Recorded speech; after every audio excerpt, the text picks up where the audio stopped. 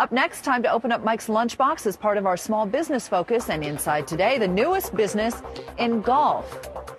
We'll show you a way to play around at some of the best country clubs in the country without actually having to join them.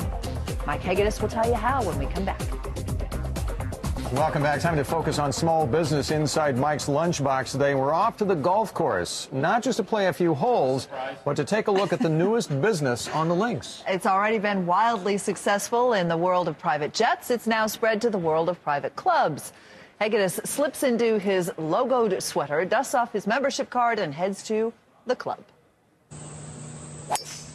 It is the world on the other side of the wall, the private golf club. Hundreds of millions of dollars annually pass through country clubs across the U.S., a once flourishing business model used for and by business.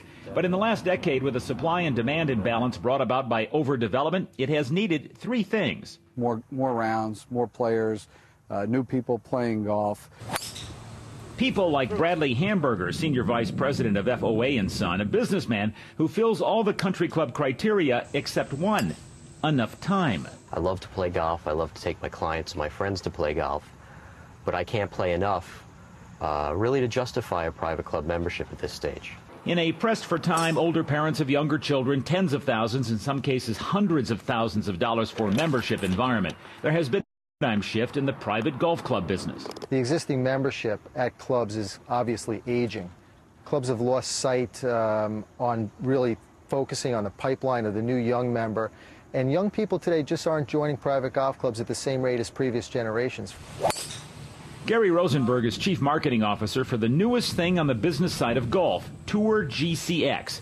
Remember what Marquis Jet and other fractional ownership companies did for the private jet business, selling pieces or guaranteed time slots on private airplanes? Well, that's what Tour GCX, started by the same folks that started Marquis, wants to do for the private golf business, selling fractional memberships in some of the best country clubs in the country. They've thought outside the box. They've brought a concept that has worked in other areas of business and, and brought it to the golf club. Operating initially in the New York metropolitan area with one course in Florida and three in Las Vegas, GCX's current 300 plus members, each of whom pay $6,250, have access to 15 private clubs like Engineers here in Roslyn, New York.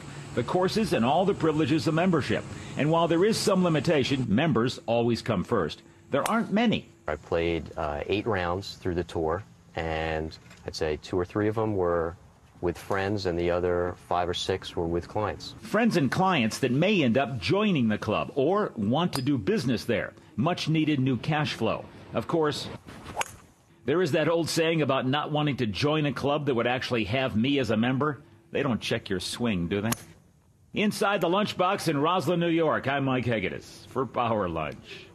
Not a bad follow through there, Higgins. I, well, that I wouldn't know about, but because I don't golf. But I think that's a great idea. Yeah.